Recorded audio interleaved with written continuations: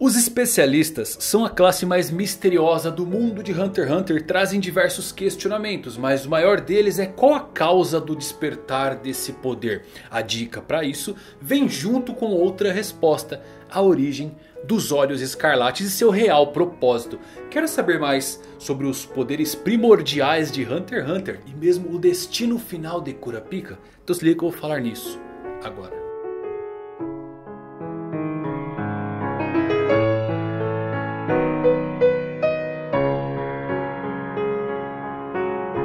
Galera, Evandro Fusari com mais um vídeo pra vocês, como é que vocês estão? Espero que todos vocês estejam maravilhosamente bem. Mais um vídeo de Hunter x Hunter. E hoje desvendando um pouquinho sobre os especialistas e principalmente sobre a origem dos olhos escarlate Como isto vai levar Kurapika a um destino pra lá de interessante. Assiste até o final, tá muito legal esse vídeo. Se você é novo no canal, aproveita pra se inscrever. Se já é um inscritão nível 3 estrela, caçador que vai pro continente escuro Dispara o like para dar uma força, não custa nada. E agora com vocês tudo sobre a origem dos especialistas e dos olhos escarlates.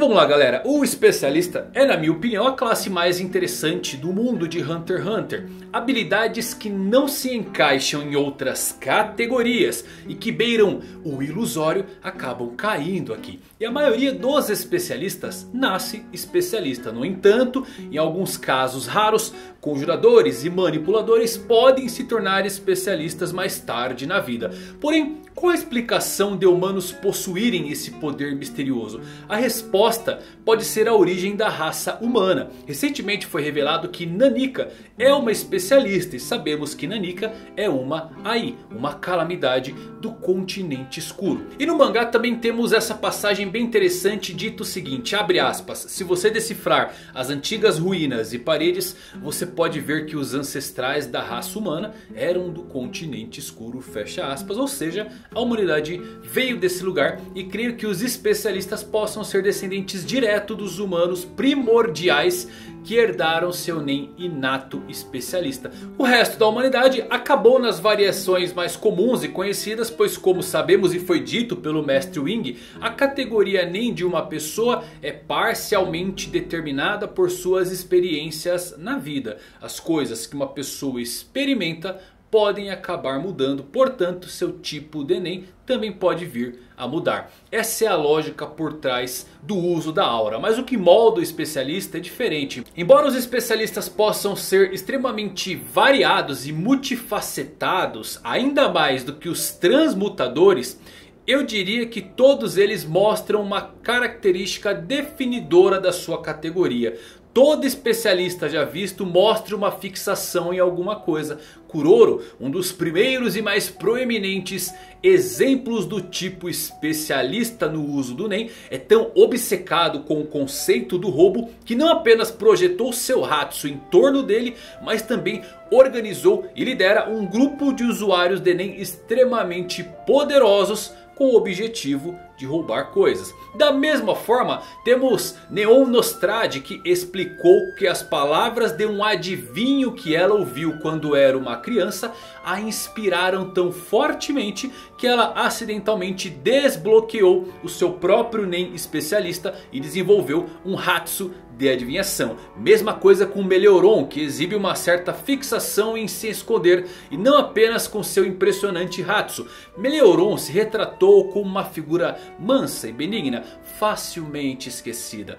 E o mais importante, facilmente escondida. Para os especialistas natos, acredito que essa característica seja a chave do seu próprio ser, desde o momento do seu nascimento. Os especialistas são projetados para se fixarem e simplesmente passarem suas vidas procurando pela coisa com a qual são mais compatíveis. Uma vez encontrados, dedicam suas vidas a essa coisa. E aqui chegamos em Kurapika, sua fixação é a vingança. Como ele mesmo diz, ele não teme a morte, ele teme apenas que a sua raiva desapareça com o tempo.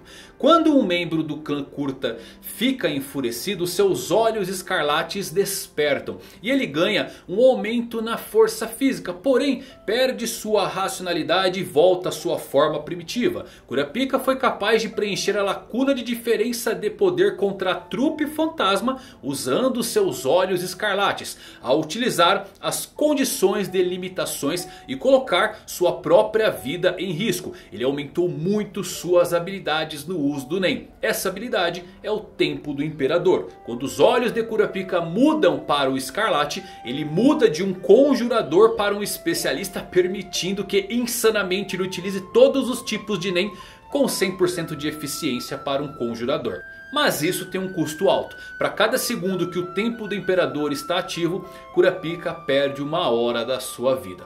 Qual a sacada aqui galera? O Kurapika ele é um pouco diferente dos outros especialistas. Seus olhos escarlates o permitem alcançar esta categoria. E os olhos remetem à natureza primordial dos Kurta. E o que sabemos deles é que os Kurta não são um povo nascido guerreiro. Eles são reclusos e pacíficos e preferem ficar sozinhos. Esta é a única razão pela qual eles foram massacrados. No entanto, seus olhos escarlates se inclinam para eles serem altamente agressivos em um passado remoto. E deve ter sido a principal razão pela qual eles escolheram viver fora do alcance dos outros. Se você decifrar as antigas ruínas e paredes, você pode ver que os ancestrais da raça humana eram do continente escuro. Porém, também ficamos sabendo que outros tipos de seres humanos vivem lá e é quase certo que os Curta vieram do continente escuro. Peguemos aqui o lago Mobius que eu acho bem interessante. Caso alguém não se lembre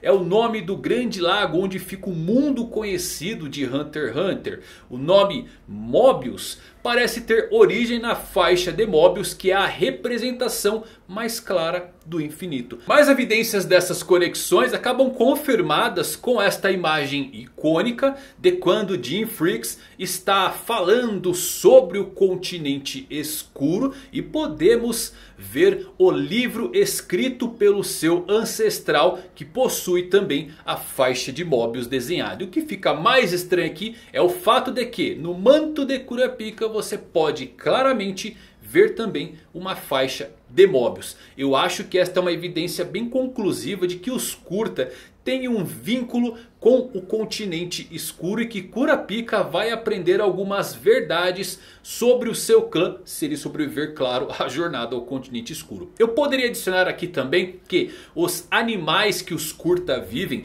e mesmo as suas cabanas podem ser vistos no continente escuro. Mas mais do que isso, no capítulo especial do passado de Kurapika temos esse remédio feito pelos ancestrais dos Kurta para suprimir os olhos escarlates. E qual a bomba aqui meus amigos? O desenho do rótulo do remédio tem o mesmo design do portão que dá acesso ao continente escuro. A pergunta a se fazer agora é, o que acontece com Kurapika ao cruzar esse portão? Seus olhos poderiam despertar por definitivo sem qualquer restrição? O guardião do portão certamente nos dará algumas respostas. Porém, apesar de várias dicas apontarem para a morte de Kurapika, eu acredito que a jornada dele não termine realmente com ele perdendo sua vida. Porque nesse ponto da história, o Kurapika ele está atingindo o ponto mais baixo de todos os tempos da sua jornada. Ele está desligando suas conexões com os seus amigos. Ele está em um navio com a trupe fantasma e com Tseridonihi, o quarto príncipe. O Kurapika também encontrou diferentes maneiras de morrer ao longo da sua caminhada. Uma delas incluindo tirar anos de vida apenas por vingança por conta do seu voto Nen, o tempo do imperador. O Kurapika se deteriorando e suas ações lembrando muito o Gon virando Gon adulto no arco das das quimeras não é por acaso. O Gon também estava atingindo o ponto mais baixo da sua vida. Ele queria vingança mais do que tudo, disposto a jogar toda a sua vida fora para vingar Kaito. Gon desistiu da sua própria vida usando o voto de Nen com um único propósito de satisfazer sua necessidade de aliviar a culpa que sentia pela morte de Kaito. E o Kurapika também faz isso agora. Kurapika sente dor tentando lidar com o fato de que todo o seu clã está morto e que ele é o único vivo. A única coisa que ele pode fazer agora é recorrer à vingança para tentar aliviar a dor que ele sente. Ele sente que ele está sozinho e não tem uma casa para onde voltar. No entanto, meus amigos... Quando o Kurapika pensa que nunca mais poderá ter uma casa e não tem mais ninguém, acaba sendo apresentado o Oble, o príncipe de Kakin. Na escuridão de Kurapika, depois de se afastar ainda mais da luz, Kurapika acaba se deparando com alguém que está mais distante do que ele realmente é agora. Um bebê inocente, alheio às muitas dificuldades da vida, isso acabou lhe dando um novo propósito. Kurapika agora quer proteger o Oble e tem cenas que destacam o impacto que o Oble tem sobre Kurapika e vice-versa. Na escuridão de Kurapika, um bebê inocente se aproxima mais dele. Lembrando dos tempos mais simples e das emoções mais felizes que Kurapika sentia trazendo à tona que tudo que ele desejava, ele pode acabar sendo no futuro. Eu acredito que é por isso que o Oble será o único a salvar Kurapika de sucumbir à sua escuridão. Que retire essa sua fixação de vingança, pois no final das contas é disso que Hunter x Hunter se trata. Claro que se discute temas como guerra, morte, vingança, moralidade cinzenta, traumas, entre outras coisas. Mas os temas centrais e abrangentes sempre foram sobre conexão, recuperação e natureza humana. Acredito que Kurapika encontrará um lar para onde voltar e iniciar de fato a jornada que ele prometeu a seu amigo Pyro. Sua resposta está no continente escuro, onde ele deve encontrar os Kurta originais e aprender sobre o poder primordial dos olhos escarlates que permitiram essa raça sobreviver no inóspito continente escuro. Legal isso né galera, eu gosto dessas conexões deixadas nas entrelinhas que os especialistas podem realmente ser um fragmento dos humanos primordiais que vieram do continente escuro. Sabemos que há outros tipos de humanos. Para mim a conexão dos Kurta com o continente escuro é mais do que clara. Ainda mais com esse rótulo aí do remédio que é basicamente o mesmo design do portão que dá acesso ao continente escuro. Fora que tem os animais, tem umas aldeias bem parecidas e tem todo esse mistério envolvendo os olhos escarlates. A questão é por que a humanidade migrou para o mundo hoje conhecido? Essa é uma resposta que vamos ter que esperar. O que, você acha? Acha que pode ser isso a origem dos especialistas e dos olhos escarlate? Os humanos primordiais que desbravaram o mundo hoje conhecido? Deixe seus comentários aqui, quero saber o que você pensa. Se gostou desse vídeo, deixa um like. Até a próxima, eu pro Ui.